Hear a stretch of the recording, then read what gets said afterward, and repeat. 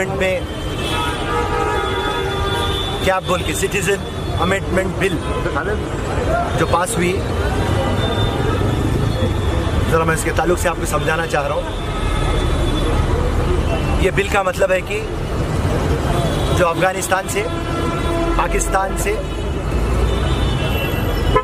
और बांग्लादेश से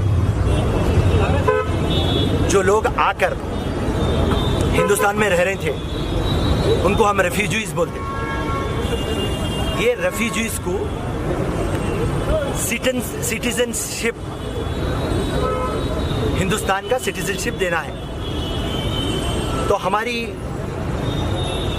जो गवर्नमेंट है बीजेपी की, नरेंद्र मोदी, अमित शाह, ये क्या करे बोल तो हर एक मज़हब को सिटीजनशिप दे रहे जैसा हिंदू है सिख है, क्रिश्चियन है, पारसी है, जैन है, मगर एक सिर्फ़ मुसलमान को नहीं देता हूँ, बोल रहे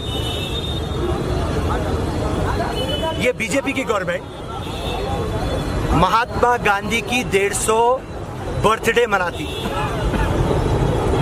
और आज जो काम करती, जिन्ना के स्टाइल में। जब हिंदुस्तान आज़ाद हुआ था पाकिस्तान धर्म के आधार पर चले गया। और हिंदुस्तान इंसानियत और सेकुलरिज्म के आधार पर बटा। आज जो हमारा कॉन्स्टिट्यूशन है, उसके आप अगेंस्ट जा रहे हैं। आप मुसलमान को हम नहीं देते सिटीजनशिप इसका क्या है क्लियर कट मतलब? बीजेपी की हुकूमत हिंदुस्तान को एक हिंदू राष्ट्र बनाना, एक है बल्कि बना और आप बात कर रहे मुसलमान को नहीं? तो बीजेपी का दिमाग जो आरएसएस से भरा हुआ है, ये जनसंघ ये बात करी थी 1960 में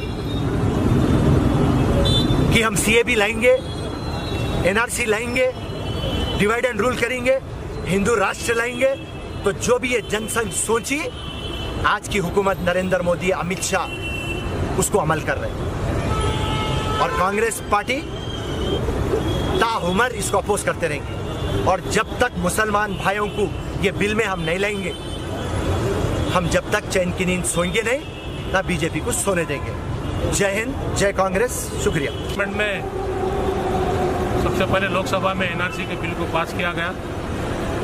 उसके अगेंस्ट में आज हमारे ऑल इंडिया कांग्रेस कमेटी के आदेश के ऊपर ग्रेटर हैदराबाद कांग्रेस कमेटी की तरफ़ से आज गांधी भवन के पास हम लोग जो एनआरसी के अगेंस्ट प्रोटेस्ट कर रहे हैं। क्योंकि आज राज्यसभा में बिल पास होने वाला है। जैसा कि बाबा साहब अंबेडकर ने, जिन्होंने ख़ास तौर पर हर मज़हब के जानने वालों को, हर मज़हब से ताल्लुक़ने वालों को उनके हक़ के लिए उन्होंने कानून बनाया।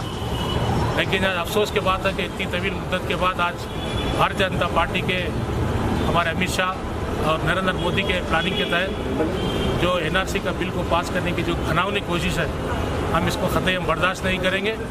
और जब तक हमें इसका हक नहीं मिलेगा, हम बराबर इसके साथ हम